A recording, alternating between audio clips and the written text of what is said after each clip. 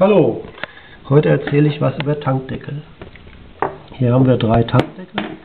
Der eine ist von der Kajiva Mito, der andere ist von einer Yamaha und der andere, der dritte ist von der Gilera Saturno. Ich habe ja mal erzählt, dass die alle passen. Das sieht man also hier rein optisch. Die beiden Klappendeckel, die sind ähnlich. Yamaha hat eine andere Konstruktion. Hier auf der Rückseite sieht man die Ähnlichkeiten etwas besser. Die Schließmechanismen sind alle identisch. Auch die Hauptbefestigungsschrauben, alle drei sind an der gleichen Position. Yamaha hat hier zwei zusätzliche, rein der Optik wegen. Die Entlüftungskonstruktion unterscheidet sich bei der Yamaha etwas, bei den anderen beiden sind sie identisch. Ich zerlege einfach mal ein, um mal zu zeigen, wie die Innereien aussehen.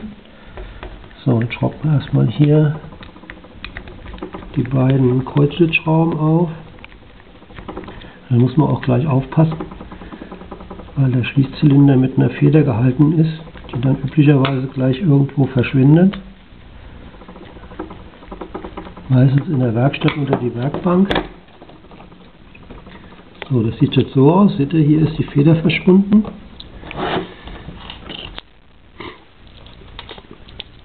Das sind die Teile. Diese Feder sitzt hier drin. Und bei der Montage muss man die Feder ansetzen, den Deckel drauf machen und dann natürlich versuchen, hier wieder die Schrauben zu montieren. Deswegen am besten bei der Demontage die Sachen so mit einer Hand festhalten und aufpassen, dass diese Feder nicht verschwindet. So, jetzt kann man hier den Blechdeckel aufmachen und den, no, wie nennt sich das, Schließdeckel, der also hier über die Dichtung zum Tank hin abdichtet. Jetzt sind hier nochmal vier kleine Federn drin. Die haben die Funktion, diesen Deckel na, so, auf Druck zu halten beim Schließen. Das klemmt natürlich ein bisschen. Das ist der Vorführeffekt.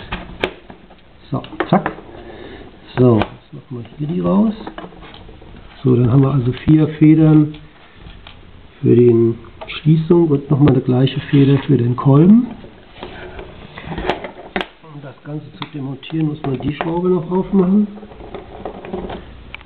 Zack. Und jetzt kann man hier vorsichtig den inneren Bereich abnehmen. Hier ist nochmal eine kleine Scheibe, muss man aufpassen. Die dichtet nochmal zu einem Rohring ab. Da kann man dann den Schließzylinder rausziehen. So, der klemmt natürlich jetzt ein bisschen, weil er defekt ist. Den muss man dann hier entsprechend so rausdrücken. Okay. Hier haben wir jetzt dieses ha, normalerweise wäre hier jetzt noch diese kleinen Membranplättchen drin, die hatte ich schon mal rausgenommen, weil ähm, wenn die Saturno in der Sonne steht und die Luft sich im Tank ausdehnt, dann drückt die Luft sich über die Membranplättchen raus und dann gibt es so ein komisches Fiepen. Das hat mich also immer genervt. Deswegen habe ich sie hier ausgebaut. So, jetzt können wir noch mal zum Vergleich den Nitro-Deckel aufmachen. Um die Teile mal zu vergleichen. Also Schrauben auf.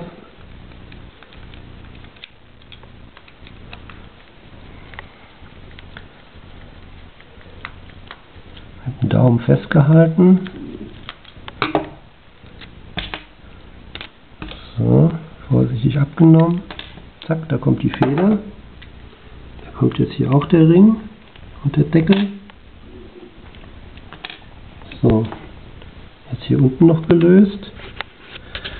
Dann kann man alles auseinandernehmen. So, vorsichtig abheben. Das sind die Teile, die sind alle gleich aus. Hier sind jetzt auch wieder diese vier Federn drin.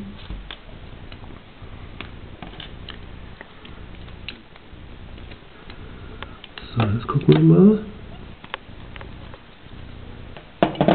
Hier sieht man das deutlich. Hier sind diese Membranblättchen drin.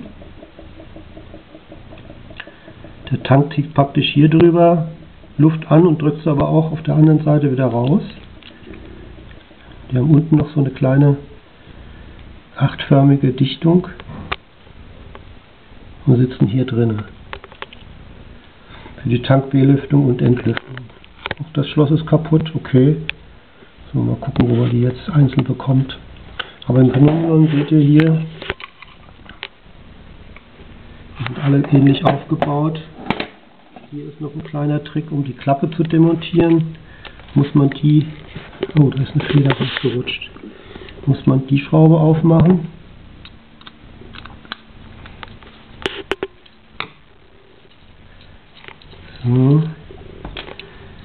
Das ist nämlich die Sperre für die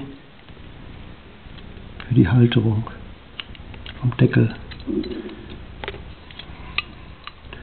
So, so sieht das aus. Und mit der kleinen Feder wird der Bolzen praktisch auf Druck gehalten. Ja, jetzt muss ich noch erwähnen, dass äh, die Kameraführung heute von meinem Sohn übernommen worden ist. Sonst kann ich das mit den zwei Händen ja nicht machen und Kamera halten. Alles klar. Simon, ne? Ich denke mal, jetzt können wir mal abschließen. Hier ist der Yamaha-Deckel. Hier seht ihr nochmal diese Funktion dieser vier Federn, wo der Schließkolben angedrückt wird oder aufgedrückt wird. Ansonsten gibt es hier auch die Schraube für die Klappenhalterung und die Schraube, um das Ganze zu demontieren. Der Halter sieht halt ein bisschen anders aus, aber alles passt in die Fototank rein. Und ganz zum Schluss noch was ganz Hübsches. Ein Renntankverschluss. Der hat also die drei Schrauben für den Saturno-Deckel und öffnet praktisch hier über einen Drehverschluss rastet hier ein, drückt etwas an, macht auf und dichtet über den Ohrring ab. Ganz fein für den Weihnachtsgabentisch. Tschüss, bis zum nächsten Mal. Moin Moin, kommen wir zum zweiten Teil. Auch diese Sendung wird gesponsert von einem nicht näher genannten Bierbrauer, aber egal. Beim letzten Mal habe ich verschwiegen, wie man den Schießzylinder demontiert. Das ist ganz einfach. Der hat von der Innenseite ist hier eine federbelastete Sicherung angebracht. Die muss man mit einem schmalen, am besten, ich habe ein Messer genommen, reindrücken und dann das Schloss von innen nach außen rausziehen. So, ich mache es jetzt mal umgekehrt mit einer Hand, weil ich keine Kamerahilfe habe. Diese Sicherung muss immer zu der zu dieser 8, wo die Entlüftungsventile drin sind, zeigen. Nur da in dieser Position kann man das Schloss montieren. Achtung, jetzt fummel ich das mal so blind irgendwie so zusammen. Ja, funktioniert hervorragend, habe ich ja so geübt. So, jetzt drückt man das nach innen. Und jetzt schnappt das ein. Und jetzt kann man vielleicht gucken. Hier seht ihr diese, ne, hier an der Stelle. Da ist diese Sicherung praktisch wieder rausgeschnappt. Und das Schloss kann man wirklich nur demontieren, wenn man hier mit dem, mit dem Messer reinfasst und das Schloss und diese Sicherung vielmehr nach innen drückt. Sieht, sieht man das? Ja, sieht man. Und dann nach außen drückt. So, dabei muss man natürlich aufpassen. Hier ist ein äh, kaputt gebrochenes Schloss. Wenn man das aufmacht, flutschen diese kleinen Schließzylinder raus. Also ganz vorsichtig rausdrücken. Auch hier zeige ich das mal umgekehrt. Die Schließzylinder, die kann man, man Vorführeffekt nach innen drücken. Und das geht das nicht mit einer Hand. Das ist aber auch egal. Ihr wisst schon, wie das geht. Also einfach dann mit dem Messer reindrücken und das Schloss flutscht dann nach innen. Im montierten Zustand müssen dann noch ein Abstandsring, ein O-Ring und noch eine flache Scheibe montiert sein, dann ist das vollständig. So, noch irgendwelche Fragen? So sieht das aus. Das sind diese federbelasteten Schließzynder, äh, Schließkolben. Hier hinten sind Federn drin, die können auch verschwinden, also schön aufpassen. So, dann ein zweites kleines Geheimnis. Die Membranventile. Die wirken saugend sowohl als auch drückend. So, jetzt sieht man hier, die Einbaulage ist meines Erachtens egal, aber ich glaube im Original sind sie so eingebaut. Hier ist der Kanal, der hier ebenfalls im Deckel eine na, Gegenvertiefung hat. So, eingebaut ist das Schloss hier. Unter, unter diesen beiden Öffnungen sind die beiden Membrane angeordnet. Das heißt, wenn getankt wird, wird die Luft, die zu viel ist, über die eine Seite, über diesen Kanal, hinten in diese Überlaufbohrung, sage ich mal so, vom Tank gedrückt und umgedreht, wenn ähm, der Benzinstand fällt, wird hierüber Luft angesaugt über die zweite Platte. Und ich habe beim letzten Mal schon gesagt, es kommt vor im Sommer, wenn die Maschine in der Hitze steht und der, äh, die Luft sich ausdehnt, dann fiebt das so entsprechend. Das sind diese kleinen Gummimembranplättchen. Das ist eine ganz dünne, feine Gummimembran, die dann hier entsprechend über die Löcher, über diese vier Öffnungen Luft ausschleusen oder reinlassen. Okay. So, ah, das ist eine tolle Geschichte. So, jetzt noch mal was ganz Spezielles und da ist mir auch was passiert. Der, die Öffnungsklappe, die hier ist mit einer Feder versehen, die entsprechend die Klappe wieder schließt. Zack, mache ich das mit einer Hand. Zack, so klappt das. Aber die, die Japaner, die diesen Tankdeckel gebaut haben, haben die noch was ganz Feines eingebaut. Und zwar hier an der Stelle, an der Stelle, neben der, macht jetzt die Kamera, macht es nicht genau. Hier ist noch eine zweite Vertiefung. Und in dieser Vertiefung gibt es ein kleines Kügelchen. Und wo ist die Feder? Diese Feder.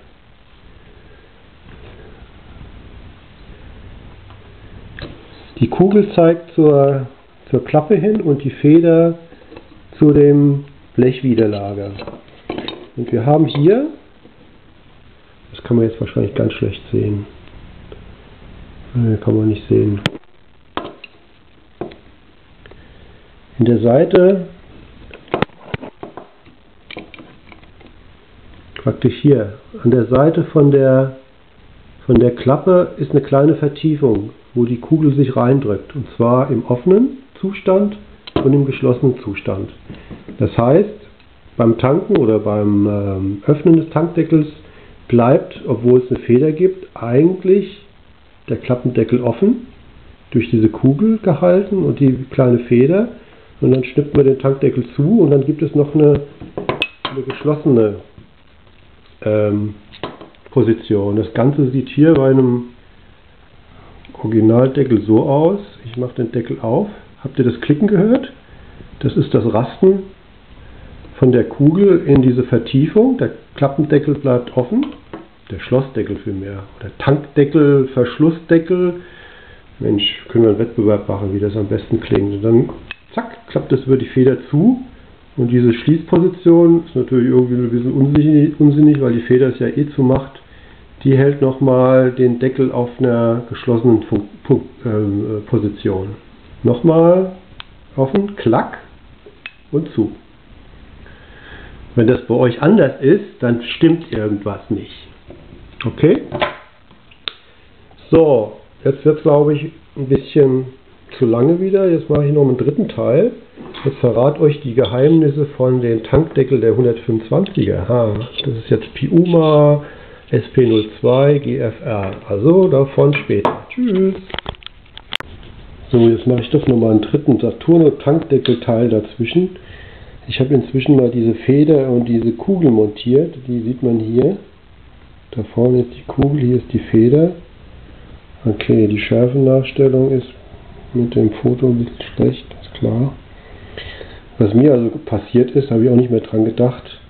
Bevor ihr diese Schraube löst, also diese Schraube löst, um den Grundkörper abzunehmen, solltet ihr diese Schraube lösen und das Blechwiderlager ähm, ein bisschen hier nach außen schieben, um die, die Federspannung äh, rauszunehmen. Weil sonst flutscht uns euch möglicherweise, wenn ihr den Deckel abhebt, die Feder weg. Das ist also mir selber passiert und naja, äh, hat lange gedauert, bis wir sie gefunden haben, aber wir haben sie gefunden.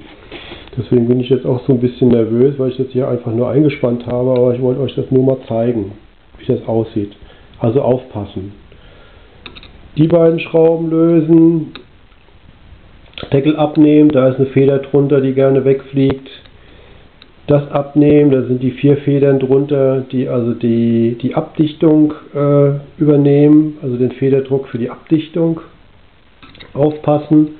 Und bevor ihr den Hauptdeckel runternehmt, um an das Schlosszylinder zu kommen, erst diese Schraube lösen, den Blechwiderlager äh, ein bisschen zur Seite drehen oder wie auch immer und versuchen durch seitliches Schütteln die Feder und die Kugel rauszubekommen. Sonst habt ihr Pech und das fliegt vielleicht euch irgendwie in der Gegend rum. Denn äh, das Wegfliegen verhindert im Prinzip wirklich nur der Deckel, der hier drüber liegt. Dann noch eine zweite Korrektur mit den Membranventilen. Natürlich ist es Quatsch, wenn ich tanke, habe ich den Tankdeckel offen. Da brauche ich da keinen äh, Luftausgleich über diese Membranventile zu haben. Und was ihr also hier seht, hier habe ich mal ein Loch, ein zusätzliches Loch gebohrt, weil mir dieses Fiepen genervt hat. Und ich habe die Membranventile ausgebohrt und habe im Prinzip, jetzt will ich es nicht rumdrehen, dass mir die Feder rausfliegt, hier, na, hier außen praktisch eine zusätzliche äh, Luftöffnung geschaffen. Also ich habe hier durchgebohrt damit von außen also hier direkt die Luft reinkommt. Ist nicht schön, aber wir haben es damals mal bei der Rennerei gemacht, äh, war das ein bisschen einfacher. Okay, das war's. Bis demnächst. Ja, doch noch, noch ein Teil. Okay, also, was mir jetzt bei der Montage aufgefallen ist, was vielleicht eine wichtige Info ist, diese vier Federn, die hier montiert werden. Hier ist eine noch, 1, 2, 3, 4, die also den äh, hier den Verschluss im Prinzip Federn belastend. Die sind etwas kürzer. Dann gucken wir mal als die Feder, die hier die, die Schließnase äh, in der Schließnase montiert ist. Also falls ihr das mal durcheinander bringt und euch wundert, die gehört also, diese lange Nase, diese Feder gehört hier rein. Die ist so montiert. Zack. Hier, hier vorne. Also. Vier gleich lange und eine etwas längere. Alles klar? Okay, bis bald. Also wenn ich schon mal gerade dabei bin und ihr mir das nicht glaubt. Also das ist der Saturno Tankdeckel, okay. Ihr seht hier rechts eine Bezeichnung, die nennt sich CT4-103.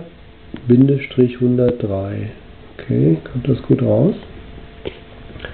Und beim Teil 1 war das vielleicht alles ein bisschen schnell. Das ist der Kajiva Mito Tankdeckel was auch wieder, denke ich mal, baugleich ist mit Ducati und äh, anderen italienischen Marken. Da sind halt die, äh, einzelnen Komponenten ein bisschen anders äh, gefärbt.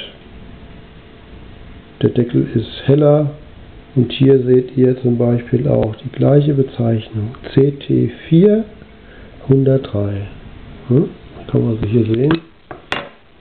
Hier der Rand, der hat also hier eine Dreh, das ist so grob gedreht. Das sind also so Riffeln. Hm. Dann gibt es also den Kajiva-Elefanten hier auf dem Kopf. Der Klappendeckel ist genau identisch. Alles so goldgelb. Saturno hat eine glatte Einfassung, schwarzen Tankdeckel, die Lehrerzeichen, gleiche Klappendeckel. So, um das nochmal zu verdeutlichen, ihr habt ja jetzt schon genug gesehen, kriege ich das jetzt auch mit einer Hand zerlegt. Jetzt zeige ich euch das mal. Also hier aufschrauben und wahrscheinlich fliegt mir jetzt die Feder weg, aber das ist ja jetzt gewollt. Aufschrauben, nochmal aufschrauben, so, mal gucken. Jetzt mit einer Hand halten. Aufpassen. Und da ist er runtergefallen, aber gefunden. Okay, das ist also genau das, wo man aufpassen muss.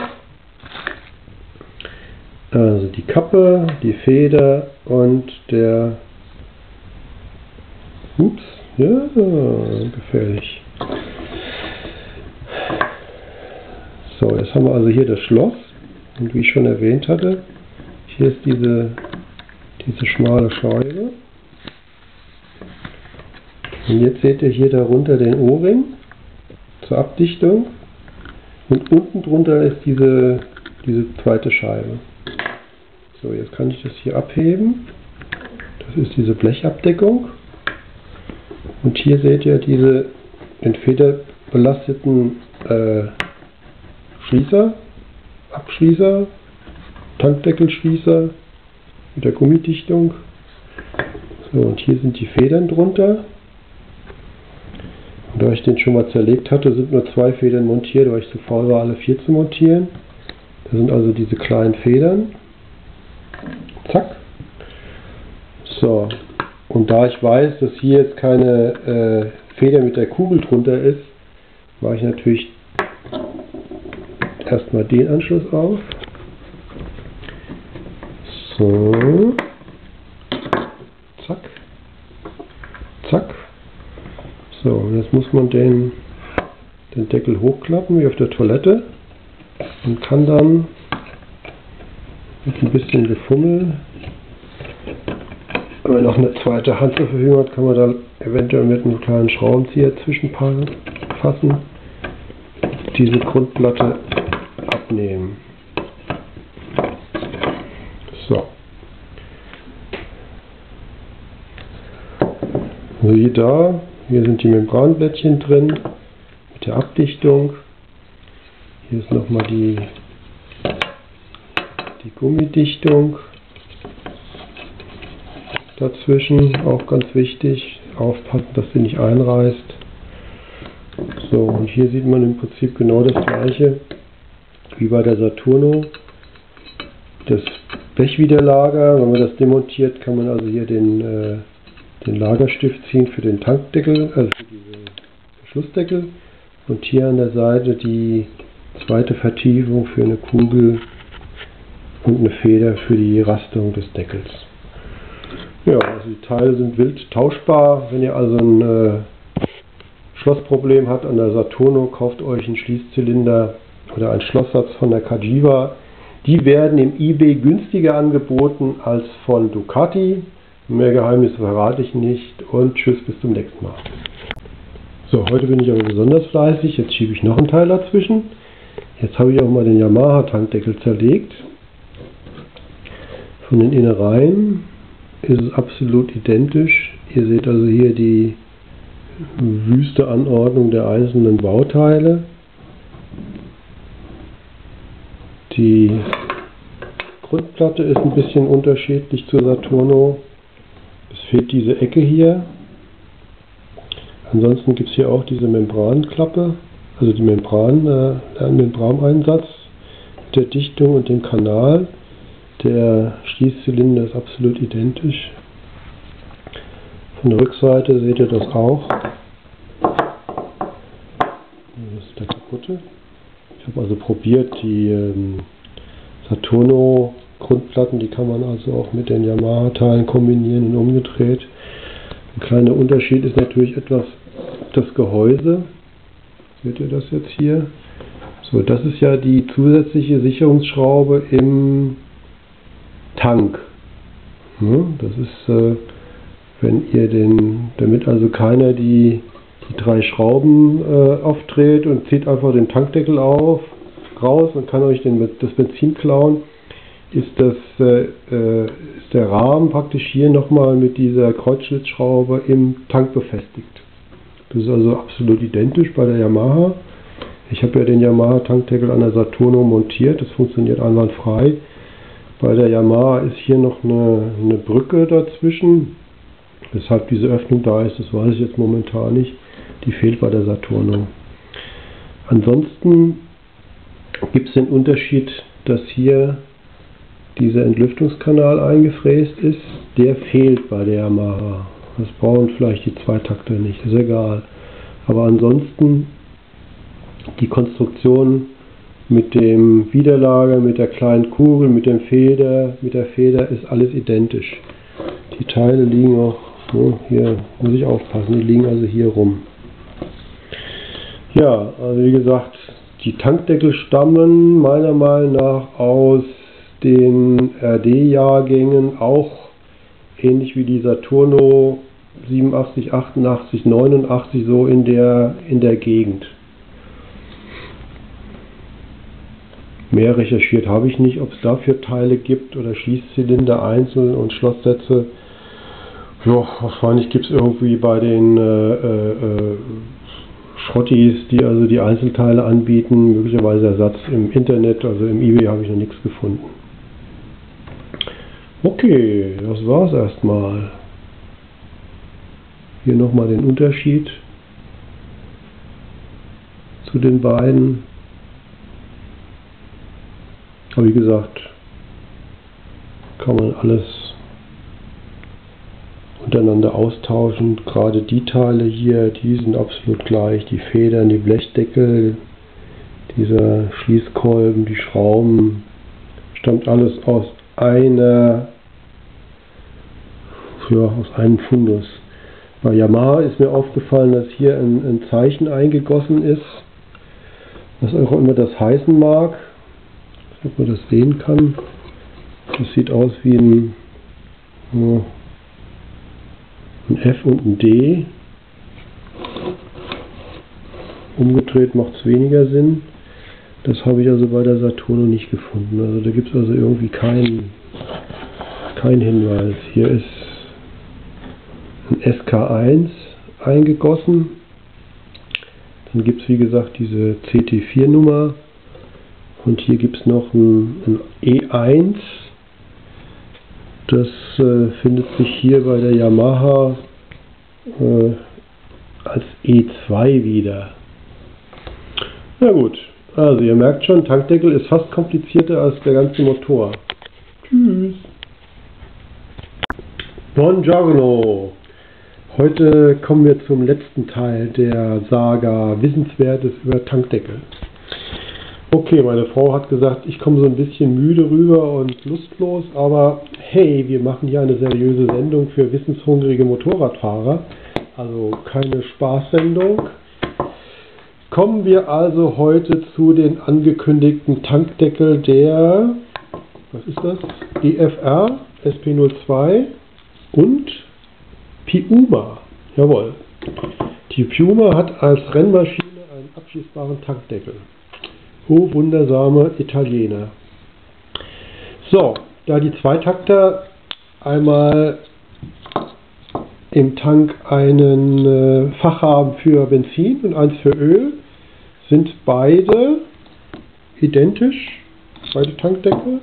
Man möge mich korrigieren. Ich hatte irgendwie das Gefühl, da steht auf dem einen Öl, auf dem anderen Benzin drauf.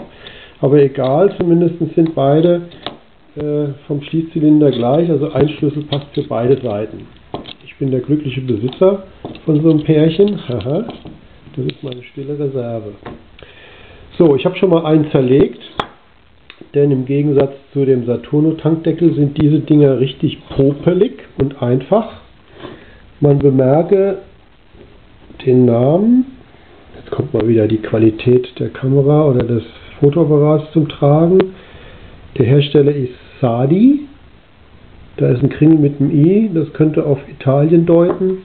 Zumindest ist der Tankdeckel im Verhältnis zu den Saturno-Deckel, wie ich sagte schon mal, sehr, sehr einfach aufgebaut. So, wir haben also hier ein Kunststoff-Innenteil mit einer Feder und einem Dorn, dann eine Gummiabdichtung, den eigentlichen Deckel mit der Klappe, das ist ja soweit bekannt. Und hier der Kranz, der im Tank eingeschraubt ist, wo der Deckel dann sich so wunderschön zentriert. So, das Ganze funktioniert, indem zack hier hm, um entsprechend 90 Grad der Schlüssel gedreht wird und hier über diese Schräge der Tankdeckel sich ja, festkrallt und auch wieder geöffnet werden kann. So. Okay, zerlegt sieht folgendermaßen aus. Ich habe die Dichtung, den Grundkörper, die Führung, die Feder, oben den Deckel, den Splint. Und dann muss man natürlich aufpassen, wenn man den Splint gezogen hat, fällt alles schon auseinander. Also gibt es keine separate Sicherung für das Schloss. Am besten lässt man die Klappe zu, denn man kann mit dem Finger das Schloss gleich herausdrücken. So, das lässt sich natürlich auch nur in einer Position montieren. Man sieht also hier die kleinen federbelasteten, äh, wie nennt sich das? Schließzähne. Gim. Also, jetzt habe ich immer wieder was verkehrt. In diesem Gehäuse ist noch eine, ein O-Ring drin, der sitzt also hier praktisch hier unten zur Abdichtung. Und hier oberhalb, hier ist auch noch eine Abdichtung zu sehen. Das sieht man also hier. Okay, also aufpassen. Das lässt sich also ganz leicht demontieren. So, wie war der jetzt? Das wird er hier mit einer Hand konstruiert. Ich glaube, das war... So, zack, Klappe zu, fest. Den Deckel oben habe ich nicht zerlegt. Man sieht hier an der Seite zwei Öffnungen. Das hier, diese dunkle Stelle, das ist die Klappenlagerung. Man sieht also hier ist ein bisschen verrostet, korrigiert. Hier der Stift, der die Klappe hält. Inwieweit hier nochmal irgendeine Feder drin ist und eine Arretierung zusätzlich wieder bei den Saturnus, weiß ich nicht. Habe ich auch jetzt momentan keine Lust, das zu zerlegen. Auf jeden Fall kann man von der Seite mit einem ganz dünnen Dorn diesen Splint raustreiben und man sieht sogar hier, hier im Gehäuse so eine ganz kleine Nut, dass man auch den in der Verlängerung, und das können wir vielleicht hier sehen, in der Verlängerung den, den Stift rausziehen kann. Diese zweite Öffnung hier oben, ja, das birgt noch ein Geheimnis, das vielleicht in einem Teil 8 zu lüften wäre. Ach, das ist ein schönes Wortspiel. So, also ich montiere mal hier so ganz schnell mit einer Hand. Zack, zack. Das ist hier die, die Abdichtung. Dann haben wir hier unten die Grundplatte. Die hat also zwei Ausschnitte, die passen auch nur entweder so oder 180 Grad gedreht, ist völlig wurscht. Dann kommt das Gegenstück, das dann über den Schlüssel verdreht wird, über den Bolzen hier oben. So, dann muss man gucken, dass ne, so, hier oben die Öffnung im Ende von dem Schloss, wo dann die, der Kerbstift reingetrieben wird, sich mit den beiden Öffnungen deckt. Dann kommt die Feder, dann kommt das Gegenstück. Auch hier muss man natürlich darauf achten, dass die Flucht eingehalten wird. So, hier ist die Öffnung, da hinten ist Prinzip ein Anschlag. Da kann man also nicht durch Doofheit den Stift hinten wieder rausdrücken. So, das muss man jetzt natürlich, wenn man zwei Hände hat und nicht eine Hand mit die Kamera halten muss, kann man mit einer Hand runterdrücken und dann von der anderen den Stift einfach reinschieben. Das war's. So einfach ist das. Kinderleicht. Ist ja auch kein Wunder, ist ja auch bei den 125er verbaut. Das Niveau ist vielleicht doch ein bisschen einfacher. Keine Ahnung, ich weiß es nicht. Jedenfalls für die Doofen steht hier also auch drauf Lift, also anheben. Und für die, die lesen können, steht hier noch drauf Open und Closed. Also, perfekt. So, jetzt haben wir eigentlich alles. Habe ich was vergessen? Ha, jetzt kommt nochmal die Tuning-Frage. Gewichtsermittlung, altes Thema. Stelle ich mal die Uhr an, äh, die Waage, Entschuldigung. So, jetzt werden wir mal den, den Saturno-Tankdeckel draufhauen. Und wir sagen, wir messen 334 Gramm. 334 Gramm ohne diese zusätzliche Gummiabdichtung und die Schrauben und den Schlüssel, okay. So, vergleichbar ziehen wir jetzt mal den Schlüssel hier raus. Schaffe ich das mit einer Hand? Ja. So. Deckel mit Einfassung. Und jetzt haben wir 330. Naja, also vergleichbar schwer. Was aber bedeutet, da ich ja zwei Tankdeckel habe bei den 125er, ist dieser Turno natürlich mal wieder im Vorteil. Hinsichtlich Gewichtsfrage. Und hinsichtlich Technik, also wie ich das ja endlos erklärt habe, finde ich ja diese Tankdeckel was ganz Feines. Da kann man sich ja wirklich stundenlang drüber auslassen. Also über Nacht habe ich noch nicht irgendwie noch was Neues gefunden, was ich irgendwie erzählen könnte, aber naja, vielleicht gibt es ja noch so ein paar Geheimnisse, die ich nicht verraten habe. Mal sehen. Okay, ähm, das war es jetzt erstmal. Ich glaube Nordwest und RC-Tankdeckel, die können sich nicht, die kann man nicht zerlegen. Muss ich vielleicht mal nachgucken. Irgendwo habe ich noch welche rumfliegen. Aber wenn mal irgendeiner Lust hat, was über seinen Tankdeckel zu wissen, kann er mir den gerne schicken. Ich werde alles tun, um die Geheimnisse zu entschleiern. Okay, bis zum nächsten Mal. Hier an gleicher Stelle in Garagen TV. Grüße und Tschüss. So, moin moin. Heute machen wir den ersten Nachtrag zu den ähm, SP02 Tanks. In der Tat auf den Originaltanks steht auf der rechten Seite Oil und links Fuel, auf gut Deutsch Benzin und Öl, damit die Seiten nicht verwechselt werden. Die Geheimnisse der Tanks hinsichtlich Entlüftung sind wie folgt. Hier seht ihr ein kleines Loch, das ist der Überlauf. Für die Benzinseite sinngemäß gibt es auf der Ölseite ebenfalls ein Rohr, das durch den Tank führt auf die Unterseite. Das seht ihr gleich nochmal. Der Nippel hier, das ist die, ähm, der Anschluss für die, witzigerweise, obwohl auf der Ölseite die Entlüftung für die Benzinseite. Denn das ist wieder identisch wie mit der Puma, die den Tankdeckel in der Mitte hat, aber auch den Anschluss auf der Seite. Jetzt gehen wir mal hier rüber. Hier seht ihr die Unterseite. Der Tank ist zwar nicht mehr so schön, aber immerhin, die Stutzen sind zu sehen. Die beiden hier, das sind die Überläufe entsprechend. Das ist der Ölüberlauf vom Tankdeckel, das ist der Benzinüberlauf vom Tankdeckel. Wir haben hier neben dem Überlauf den Ausgleichsanschluss für die Ölseite. Hier zieht der Luft rein, wenn der Öl, das Ölniveau sinkt. Und hier unten haben wir noch einen Stutzen, das ist im Prinzip der Anschluss unten für den Motor. Und natürlich der klassische Benzinhahn. Das sind soweit die Anschlüsse am Tank. Nochmal zu sehen. Okay, jetzt können wir den anderen Tank aber auch nochmal umdrehen, das ist vielleicht ein bisschen schicker. So, also hier Benzinhahn. Das ist der Ölanschluss. Das ist der Geber der Ausgleichsanschluss für die Ölseite, der Stutzenüberlauf Der stutzt einen Benzinüberlauf.